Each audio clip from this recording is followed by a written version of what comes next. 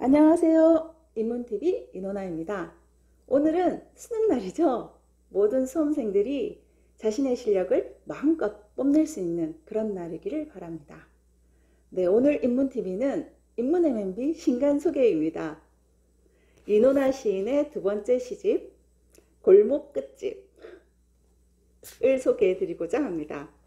네, 골목 끝집은 인문 MMB 읽고 싶은 시 시리즈 두 번째 시집인데요. 첫 번째 시집인 김재근 선생님의 문사동 가는 길, 세 번째는 한성근 선생님의 바람의 길, 그리고 이제 두 번째 어, 이노나 시인의 골목 끝집이 나와서 딱 이렇게 순서가 맞춰졌습니다. 네, 읽고 싶은 시 시리즈는 공감과 감동을 주는 시, 늘 곁에 두고 읽고 싶은 시를 통해서 어제보다 조금이라도 오늘 더 행복해지기를 바라는 그런 인문 MMB의 다짐을 담은 인문 MMB 신선 시리즈인데요. 네. 많은 사랑과 관심 부탁드립니다. 이누나 시인의 두 번째 시집 골목 끝집 제호가 뭔가 어, 친근한 것 같으면서도 뭔가 사연이 있는 듯한 그런 제호인데요. 어, 표절 시인 골목 끝집을 한번 읽어보도록 하겠습니다. 12페이지입니다. 골목 끝집 골목 끝집에 유쾌한 소녀가 살았어요. 어느 날 저녁 친구들과 놀던 소녀는 집으로 돌아가야 할 시간이라는 것을 알았답니다. 친구들이 사라지고 있었거든요. 소녀의 집은 친구들의 그림자 방향이어서 늘 쓸쓸한 마음이었는데 그날의 소녀는 자꾸 신났어요. 해는 벌써 지려고 했지만 동네 오빠들이 재밌는 놀이를 하자고 했거든요. 그러나 철길 풀숲에서 하는 놀이는 너무 아프고 무서웠어요. 소녀는 도망쳤어요. 어딘지도 모를 곳을 향해 뛰느라 골목이 끝나지 않았어요. 창문 없는 골목벽을 따라 성큼성큼 따르는 오빠들의 발소리는 밤보다 짙었어요. 골목 끝집에는 아버지와 어머니와 오빠와 언니가 살았지만 아무도 피투성이 소녀를 알아채지 않았어요. 다행이에요. 그래서 계속 아무도 모르게 혼자 있기로 했어요. 소녀는 자신의 키에 맞도록 천장에 나무 조각을 덧대었어요. 어머니와 아버지와 오빠와 언니를 위한 모서리를 만들었고요. 거실 한가운데 작은 모닥불을 피웠어요. 자신의 심장을 꺼내 작은 덫도 만들었지요. 그런데 해와 달과 별이 아무렇지 않게 창문으로 들어왔고 바람이 자꾸 문을 흔들었어요. 소녀는 단지 혼자 있고 싶을 뿐이었어요. 머리카락으로 촘촘한 커튼을 만들었어요. 그러는 동안 시간이 천장을 자꾸 낮췄어요. 소녀는 골목 끝집이 정말 좋았어요. 그러나 소녀는 아직 어린 채였으므로 낮아진 천장에 맞게 자신의 머리를 잘라야 하는지 발목을 잘라야 하는지 알 수 없었답니다. 그때 마침 무엇인가가 말했어요. 나 같으면 발목을 자르겠어. 그렇게 모든 것이 완벽해졌어요. 골목 끝에 집이 있었어요. 드나드는 사람은 없었어요. 간혹 새가 날아들었다가 서둘러 나왔고 길고양이 몇몇이 들어갔다가 나오지 않았어요. 그렇게 골목 입구에 세워진 길 없음 표지가 낡아지는 동안 소녀는 오래오래 행복했답니다. 뭔가 잔혹동화 같기도 하고 섬뜩한 표현도 있는데 그걸 발랄한 문장으로 좀 덮은 그런 냄새가 납니다. 이 시집의 시 해설을 써주신 유한근 선생님께서는 이 표제시 골목 끝집과 관련하여 한편의 동화처럼 보이는 시다. 시적 주체를 골목 끝집에 사는 소녀로 어, 정하고 출구가 없는 막다른 집에서 그 집과 맞추어 살아 행복해지는 소녀의 이야기를 글줄시로 쓰고 있다.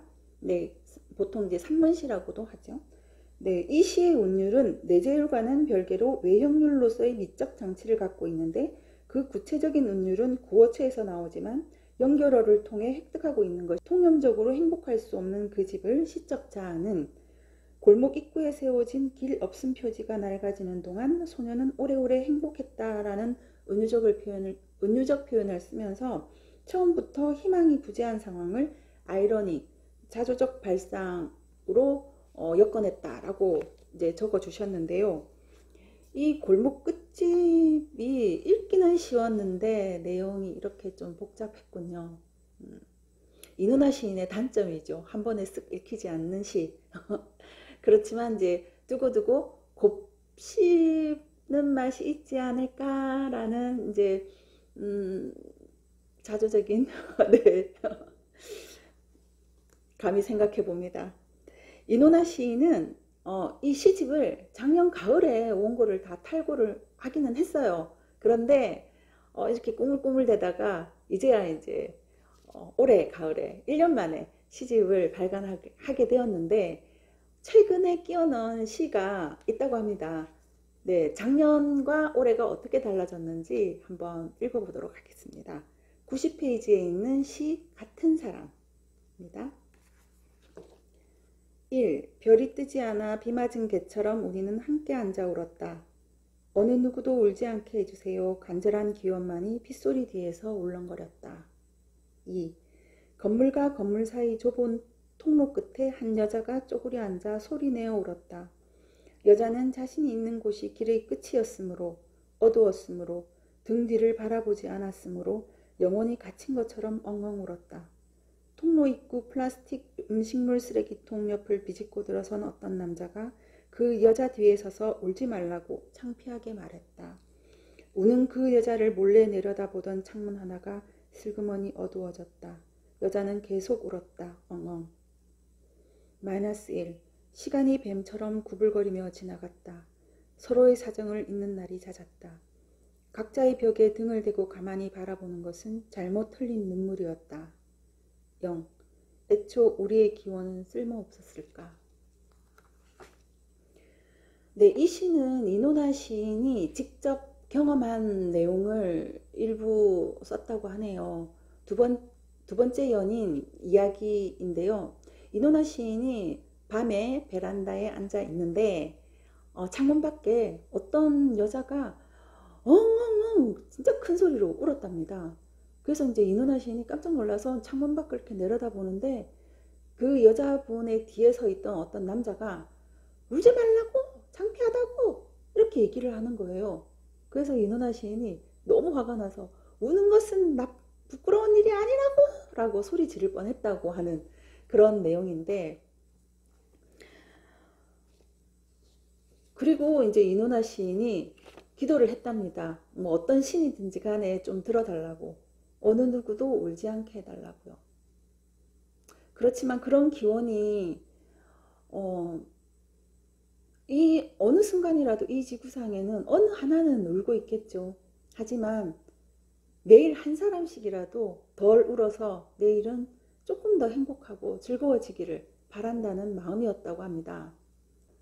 오늘 인문 MMB의 공감과 감동을 주는 시, 늘 곁에 두고 읽고 싶은 시 시리즈 두 번째 시집 골목 끝집의 신간 소개를 해드렸습니다. 얇지만 알찬 구성. 네. 이노나 시인의 시집 골목 끝집 많은 사랑과 관심 부탁드리고요. 읽고 싶은 시 시리즈 첫 번째 김재근 선생님의 문사동 가는 길, 세 번째 한성근 선생님의 바람의 길, 또 많은 사랑과 관심 부탁 구독과 좋아요, 알림 설정, 댓글까지 저에게 힘이 됩니다. 감사합니다.